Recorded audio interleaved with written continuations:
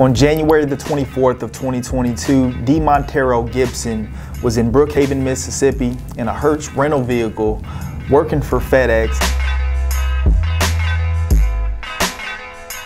He was delivering packages in the neighborhood. He was suddenly cut off and stopped by two white male individuals and they cut him off, blew their horns at him and then chased him and shot at him over five times for seven minutes.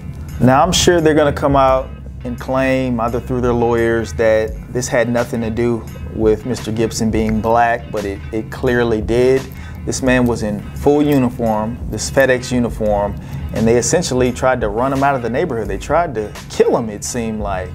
And we later learned that those two individuals were arrested a week later. Why it took so long, nobody knows. Well, we can make some assumptions about why it took so long as well, but it took over a week.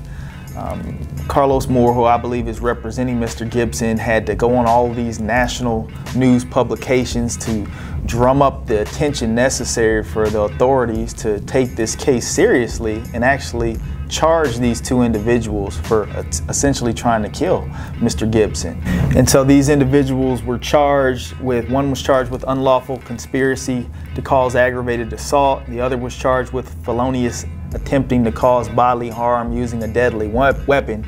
You can make the argument it should have been attempted murder, but we can only hope and pray that the district attorney takes these charges seriously and prosecutes them to the fullest extent of the law and that they're not able to plead to a lesser charge because again this young man could have lost his life thankfully he did not um, if we go if this case goes to a jury again you're going to be concerned in this part of Mississippi if these gentlemen are going to receive some preferential treatment and that Mr. Gibson isn't going to get justice for what happened to him because he is the victim in this case.